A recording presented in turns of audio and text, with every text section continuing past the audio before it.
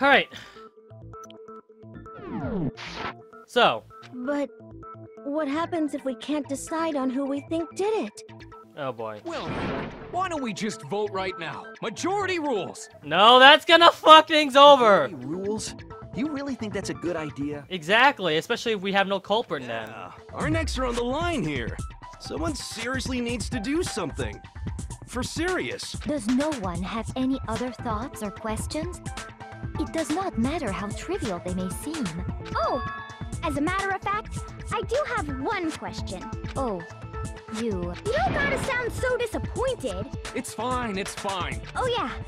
Well, I was just wondering how did the culprit get into Makoto's room in the first place?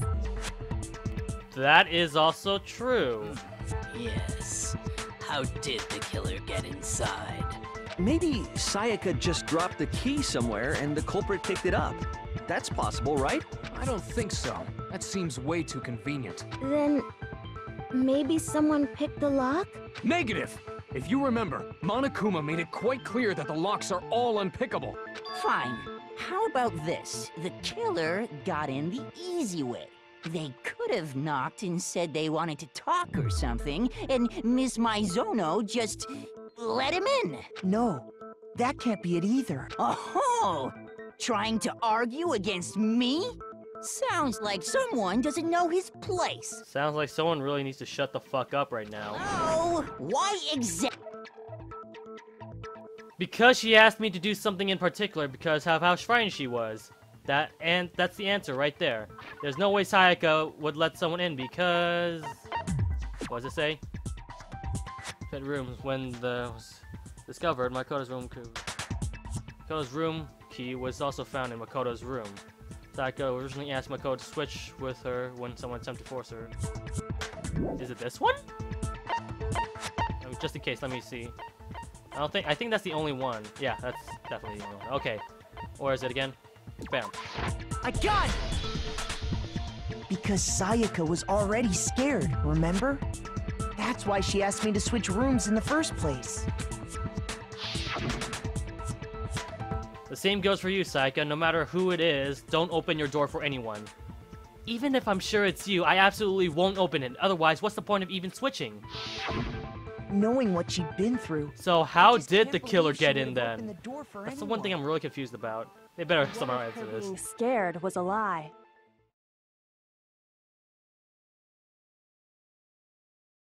Huh? She could have lied. After all, she did get out of the room to get the knife. So yeah. But then again, that couldn't be for self-defense alone. It could also mean she's trying to kill someone. Well, what the hell is that supposed to mean? Why would she lie about something like that? I know you don't want to consider it, but look at this and tell me. Can you still deny the possibility? No, I completely agree with you. There's a possibility that she lied about it and she tried to attempt to kill someone. There's something I want to talk about. Wait, hold on. What the hell is this? Come and see me in my room. Check the name. Wait, whoa, what the hell? There's something I want to talk to you about. Just us two. In five minutes, come see me in my room. Check the nameplates to make sure you don't get the wrong room, okay? I found a notepad during my search, and I shaded in the top sheet with a pencil. And these are the words that appear. Oh man! I've totally seen people do that on detective shows. When you write, it can leave an imprint. Sketch over the next sheet of paper, and you can see the words. When I saw that, I was like, holy crap! I better make sure I rip the paper out before I use it from now on. It's a pretty old-fashioned technique. But even the classics can be surprisingly useful sometimes. Oh, and I should also mention, I found the notepad on the desk in Makoto's room. Huh? Which means only someone who had been in Makoto's room before the incident could have written it. Then either it was Makoto who lived there, or Sayaka who switched rooms for a single night. So, Makoto, Nope, I didn't write this. Obviously. no, I didn't. But of course you didn't. Because the note also bears a perfectly legible signature.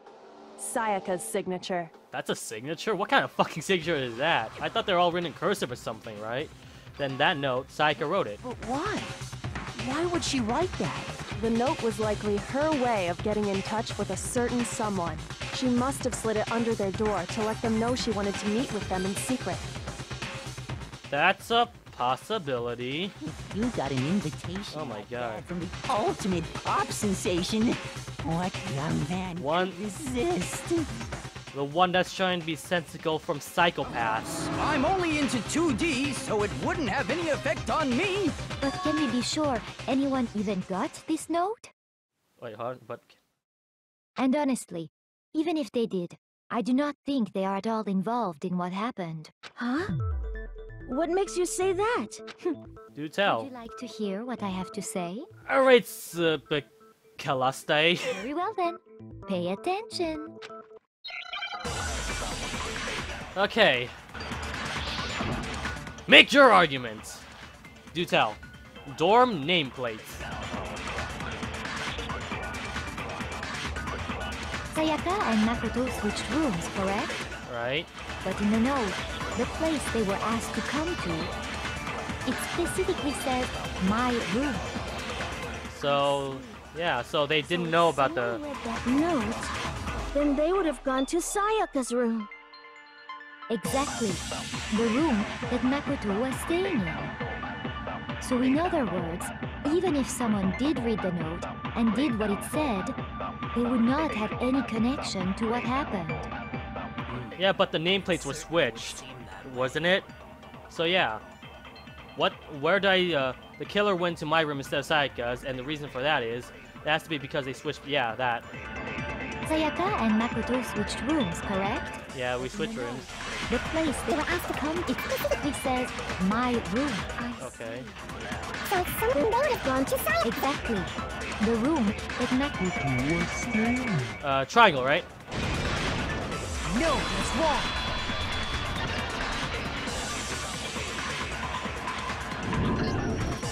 The nameplates on Mai and Sayaka's rooms got switched. They got switched? That's right. The nameplates got switched, just like the rooms themselves. As a result, the nameplate on Sayaka's room actually had Makoto's name.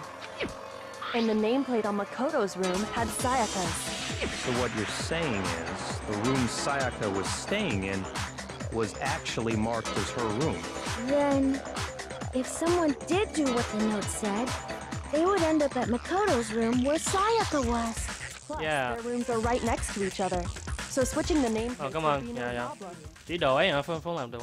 Okay, so switching. Yeah. And the one who switched the names was...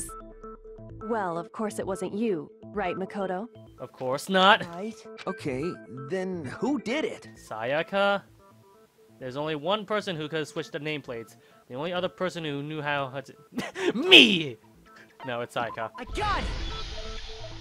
Me and Sayaka were the only ones who ever knew about us switching rooms. So the only other person besides me who would even know to switch the nameplates was Sayaka. You can also infer as much from her note. There's something I want to talk about, just the two of us. In five minutes, come see me in my room. Sayaka. Check the nameplate to make sure you don't get the wrong room, She okay? specifically tells the reader to check the nameplate. She would only have written that if she knew the nameplates had been switched. But why would she switch them in the first place? She wanted someone to come to the room she was in, and also hide the fact that it was Makoto's room. So that she... She was trying to blame me for the murder! Makoto, please get your blinders off, please. Inviting someone She's a lost cause anyways. But not telling them you'd switched rooms. Why would anyone do that? To understand that, we first need to understand what happened after she invited the person into the room. Yeah, let's do that, actually. Where the answer lies. What happened then was probably whoever she invited over came in and attacked her. We figured it out. We know who did it. Whoever she invited over is the culprit. But we still don't know who it is, you goddamn idiot. Exact. Should we just remove uh that guy from uh, our jury from now on? Sayaka fought with her killer there in the room, yes? Perhaps the answer to our previous question lies in that initial struggle. Yes, I think you're right. Then... We just have to figure out what happened during the fight, right? That reminds me. There was a replica sword at the murder scene. Was that perhaps used during... Definitely, there's some glow sticks on her. glow sticks. There was some shine on her wrist. Oh yeah. What's the deal with that sword? Sayaka suggested I should hold on. This is one long fucking trial, isn't it? It might come in handy if I had to defend myself. It seems pretty likely that the killer used it to break Sayaka's right wrist. How the hell could you possibly know that's what broke her wrist? Because of the glow! The reason I know Sayaka's wrist was broken with this fake sword is because when you look at her wrist, there's no doubt... Where is it? This thing, yeah. I got it! All you have to do is take a good look at her broken wrist, and it should become pretty clear. Right there where her wrist is all swollen. There's something glittery there. Is... is that gold? It sure is. Specifically, the gold coating from the replica sword. You barely have to touch that stuff, and it'll stick right to you. And there's some on her wrist because... I got it! Because she got hit with the sword. Shut right up! her wrist. okay. Yeah. And so the truth This is an interesting ever jury. Closer. All right, then it's about time to solve this mystery. What happened in my room, and what led to Sayaka's death. That's what we need to make clear. There's a bit more to learn about the non-stop debates, okay. Are you getting used to these non-stop? Not really, but alright, do tell. Starting with the next debate, I'll start loading multiple truth bullets into your truth cylinder. Ah, shit. But just like with the weak spots, only one of those bullets can actually refute the proper statement. In other words, from here on out, you'll have to combine the right truth bullets with the right weak points to refute each statement. If you come up with the wrong combination, you'll take damage from your influence gauge. You can press the L button to rotate the cylinder, and press... okay. Press and release the L button to cycle through each bullet. Or you can hold down the L button to use the left stick to select a specific bullet. By the way, if... Wait, what, huh? If you use... If the logic difficulty is set to kind, fewer bullets will be loaded into the cylinders. For our purposes this time, the logic difficulty will be set to mean. Well then, good luck and have fun. How many bullets do I have in total, though? Make your arguments. Okay, yeah, there's definitely... Okay, there's three definitely definite bullets that we have to take care of. Fighting broke out. The kitchen... Oh. The culprit grabbed the sword. Okay, now I get what those things That's for. Okay. first blow was dealt. Kitchen knife set, alright. The sword-based sneak attack. And that's what broke Miss Maizono's wrist. Alright. So That's one orange. She grabbed the kitchen knife she had hidden away. But then the culprit took that from her too. Alright. And they killed her with it. And that's exactly what happened. There's only two oranges. If that person with the sword really did attack first, there's no explanation for how a certain part of the sword got damaged. I need to review my uh, evidence again. Oh shit, oops! I need to review my evidence real quickly. So, let me see what happened exactly. The sword was, uh, like, okay. What about the short sheath though? Took this from the gym. The sheath was found some distance from the sword itself and showed, it showed evidence of being scratched with a sharp object. So, because of the way the uh, sword sheath and the sword itself was placed into my room and not the bathroom, the struggle was not in the bathroom itself, but the fight during the uh, my room. The sword. And that's when the first blow was dealt. Okay. Sword-based sneak attack. And that's what broke Miss Maizono's wrist. So she tried to fight back. She grabbed the kitchen knife she had hidden away. But then the culprit took that from her too. And they killed her with it. And that's exactly what happened. What's my uh, replica sword sheath? Okay. So, replica sword, replica sword sheath, and the kitchen knife. If that person with the sword really did attack first, there's no explanation for how a certain part of the sword got damaged. Hold on, what again? I need to really review again. Sword sheath, let me see that again, just in case. The closer to the shield was found some distance of the sword itself. It shows evidence of being scratched with a sharp object, so... The sword itself uh, the sword replica sheath was used as a defense mechanism. So it has to be the. Okay. Makoto took this from the gym. Blah blah blah. So it's on the sheath in the middle of the room. The sword handle was missing some of the gold coating as was part of the blade. Yeah, this thing's getting a lot more harder than harder. So hold on. Kitchen knife set. Sword, replica sword. A replica sword sheath. Sword-based sneak attack. And that's what broke Miss Maizono's wrist. Okay. So she tried to fight back. She grabbed the kitchen knife she had hidden away. But then the culprit took that from her too. And they killed her. I gotta be really careful about my. I gotta be really careful though, but I think it is the uh, replace. I'm thinking she defended herself with the replica sword sheath and not the knife. When the first blow was dealt. Considering how the it has scratch marks on it.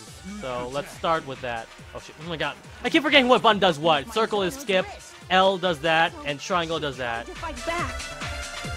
She grabbed the kitchen knife she had hidden away. Let's hope that's the case. What? You think something I said is wrong?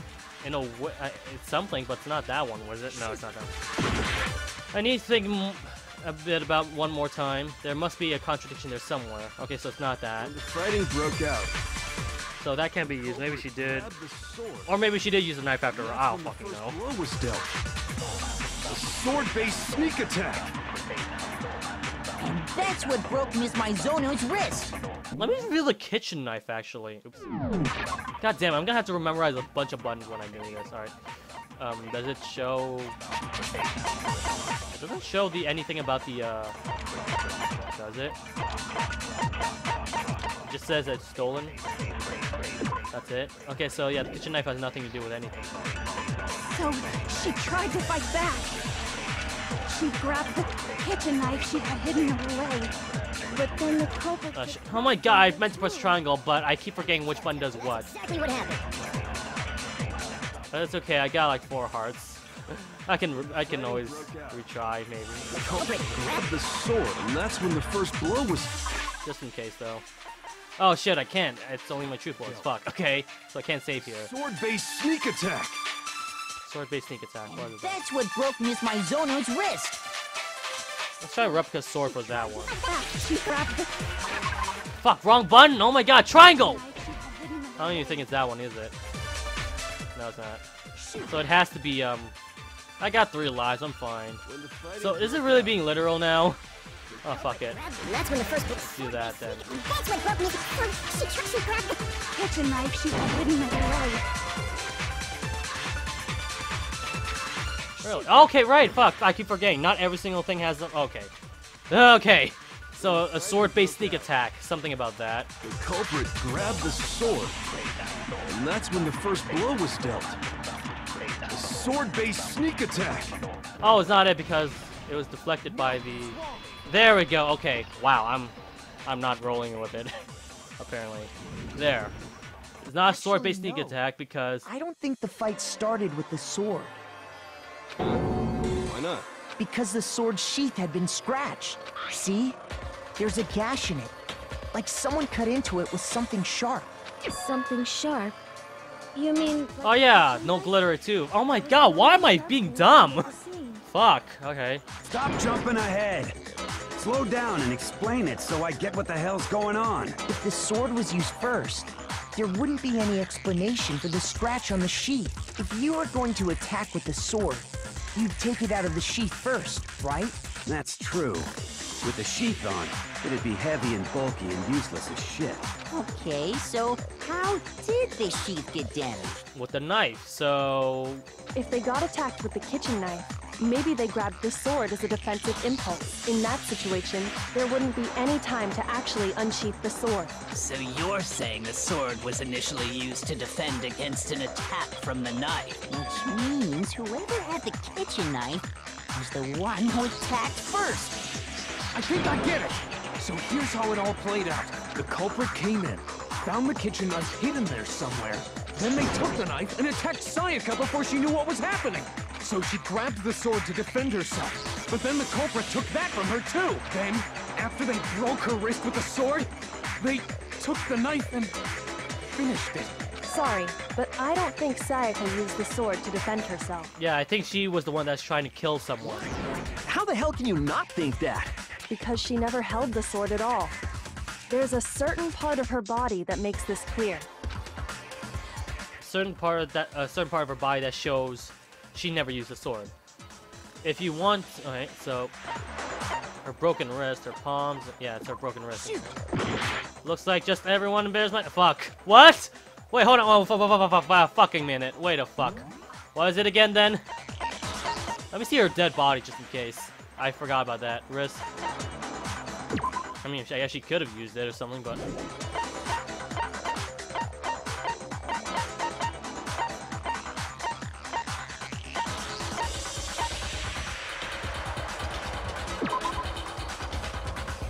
Her hair, hands appear to be completely clean, except for the index left. Okay. Oh, whatever. I got plenty of tries. Not like it matters anyways. A part of her body that shows she never used that sword. If you want to use a sword, which part of your body would you have to touch it? Wait, what? If you want, if you want to use a sword, which part of your body would you have to touch it? Palm? Oh yeah, because it's completely clean. Derp. Fuck. I am just, uh, talking wow. about her palms, right? The palms of her hands were perfectly clean. So I don't think she ever picked up the sword. I am very slow, aren't I? Just by looking at the palms. Like I said before, the gold coating on that sword comes right off. All you have to do is touch it. In fact, if you look, you'll notice that a lot of the gold has already come off the handle. It's safe to assume that's because whoever used the sword got some of it on their hands. There's really no way she could have picked it up and come away completely clean. Maybe she washed her hands after she escaped into the bathroom. Sorry, but I don't think so. Why do you say that? Is it because you Shut the f- Oh my god. That's not it at all. No, if you keep perpetuating that, I maybe I will call you fucking ugly from now on. So shut the fuck. Alright. There's no way Sayaka washed the gold coating off her hands because there's a certain regulation that talks about. Oh yeah! Water was off. She's afraid of water. What is that, Neptune? According to the Monokuma file, Sayaka's time of death was around 1.30 a.m. In other words, at nighttime. And the water in the bathroom shuts off at night. When am I gonna get bring back my life? I didn't know that. I gotta be really careful. Shower. Oh, my. You're no different. You smell like a big fat ugly donkey. Says the big fat ugly donkey. Hmm? I'm not sure whether to take that as an insult or a compliment. An insult, obviously. So anyway, if Sayaka never touched the sword, then that means the killer is the only one who used the sword. But hold on. If that's right, then the one who damaged the sheath with the kitchen knife was... The one who damaged the sheath with the kitchen. Oh, fuck. Oh my god. I really need to review all this shit. Hold on a minute. Oh, I can't select, so I can. Okay. The one who damaged the sheath would have to be the one without the sword. I got it! Oh, yeah. My life is actually going back, so that's good. She had the kitchen knife?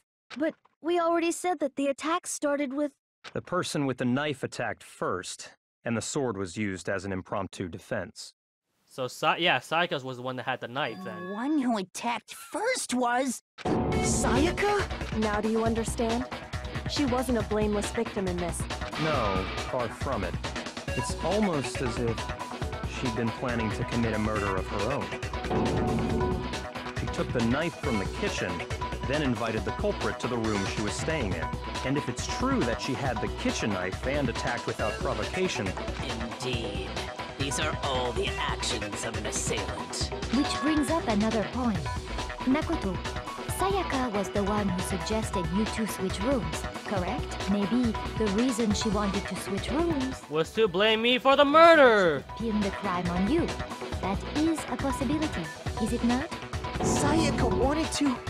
on me?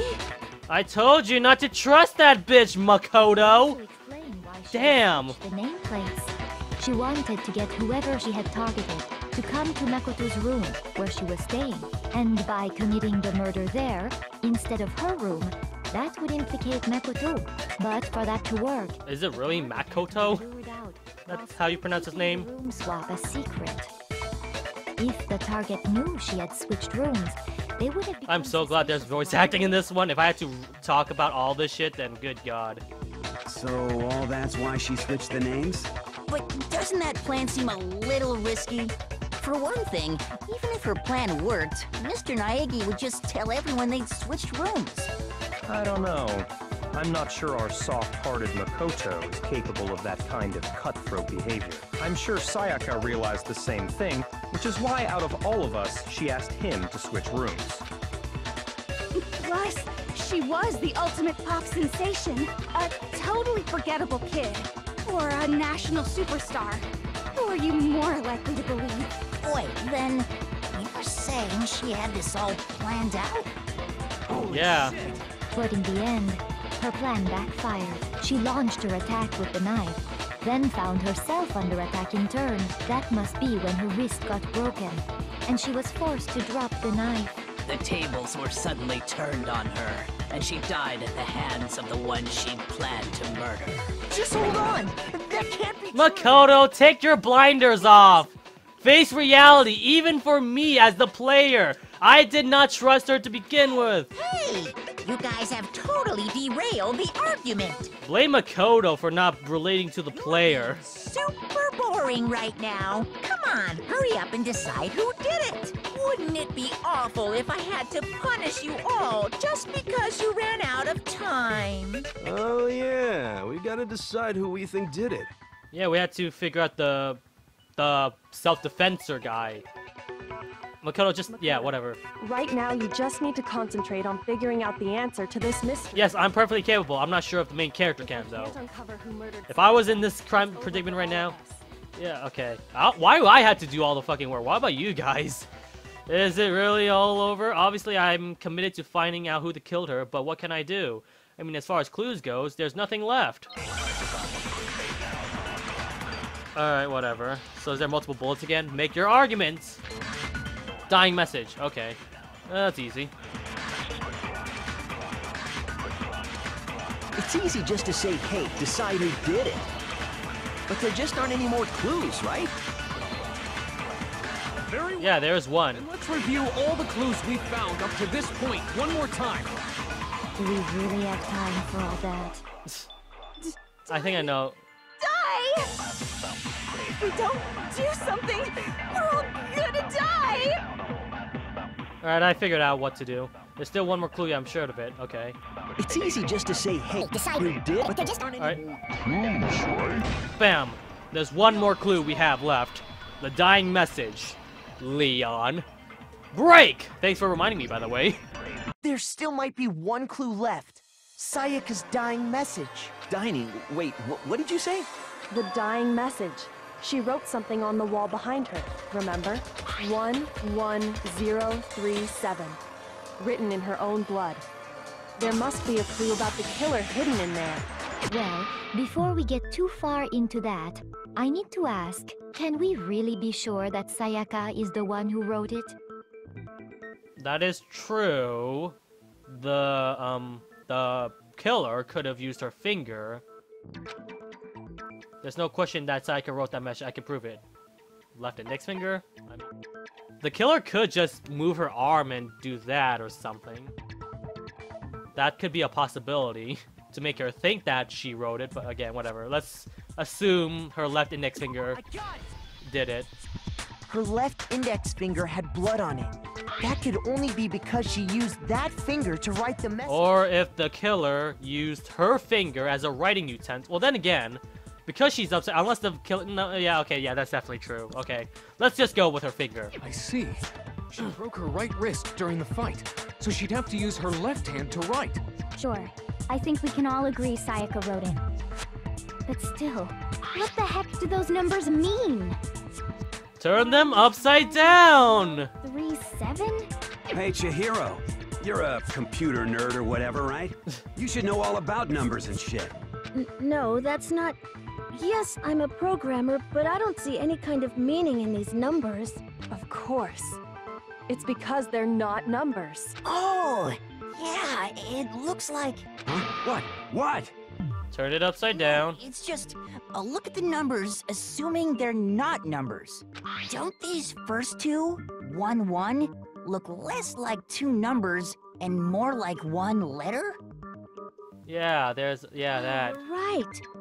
The connecting line is barely there, so I assumed it was 1 1. But looking at it now, you could also read it as an N. Whoa, you might have finally just said something worth a shit. Come on, uh, guys, I solved the mystery a long time ago, okay? Don't get your hopes up. Really getting excited now. But even if that really is an N, N037, doesn't make any more sense than before. Turn it upside down, you fucks! Damn it's news. Oh my god, Makoto. Can can I replace myself into this predicament? I'd be a smarter investigator than this asswipe. Rotate the image 180 degrees. Oh my god, the game really has to tell the answer. Oh my god. Makoto, you fuck! Rotate it. I, I think maybe. Maybe I can see something. Oh my god. Now I see. She wrote down the killer's name. It would have been really cool if we were the one who solved it, not the game. But whatever. You just shot past the clue part and right onto who did it. So, whose name did she write? Sayaka's dying message reveals the killer's real killer's name. If you turn her message 180 degrees, it should come crystal clear. Select someone. Oh, this is a voting time. Here's my answer. The key to solving this mystery was simply to rotate the writing 180 degrees. If you turn the message around, it becomes the letters L E O N. L E O N. Or more accurately, Leon. What the hell are you talking about? It's just a coincidence. You're awfully very, very suspicious now. A Bunch of random squiggles that happen to look like my name. No, it's not random at all. She wrote that message on the wall behind her as she was leaning up against it. In that position, she couldn't move to write normally, and had to write upside down, as it were. And as a result, when you look at it standing in front of her, it ends up getting flipped. Try it for yourself if you want. Write something sitting like her, and the letters will be inverted. That- that Exactly. like one hell of a stretch to me. I'm the killer? You can't just go and say shit like that.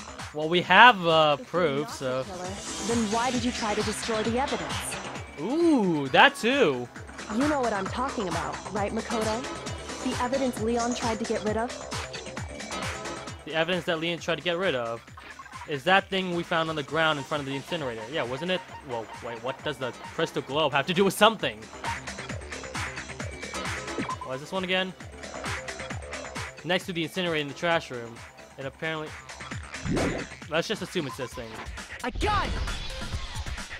You It's not the crystal ball, is it? Yeah. I found laying on the ground by the incinerator, right? As the killer stabbed Sayaka, they must have gotten some of her blood on them. And to dispose of the shirt covered in the victim's blood, they threw it into the incinerator. But one piece burned off and got left behind. And the killer didn't notice. If they had, they most certainly would have panicked. Isn't that right, Leon? You also have the right shirt color as well, so... But is one scrap of fabric enough to conclude that Leon is guilty? Yeah, I mean, Leon's not the only one wearing a white button-up. That, that's True. right. There are plenty of other people here with shirts like mine.